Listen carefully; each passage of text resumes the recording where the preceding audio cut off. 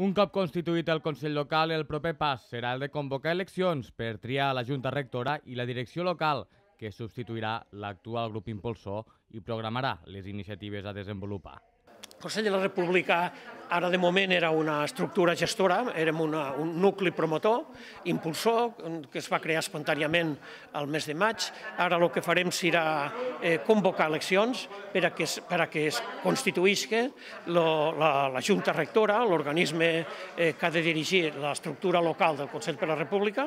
Mm, farem eleccions entre tots els afiliats. En aquest moment eh, ja hi ha més prop de 300 afiliats a Tortosa. Eh? A Tortosa hi ha prop de 300 persones que s'han adherit al Consell de la República República.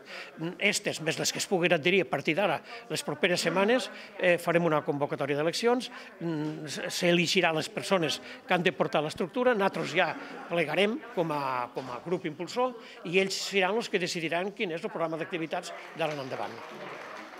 El Consell Local per la República de Tortosa treballarà per vetllar que els ciutadans que van votar per la independència de Catalunya vegin complerts els seus desitjos.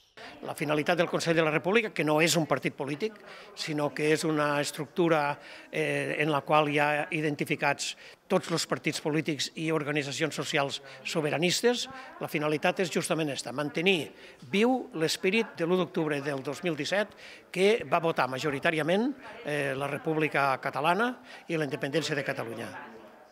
Fins ara, a les Terres de l'Ebre, altres poblacions, com ara Amposta, Flix, Mas d'Enverge o el Perelló, ja tenien Consell Local. El de Tortosa ha de servir també per incentivar la participació en altres municipis ebrencs.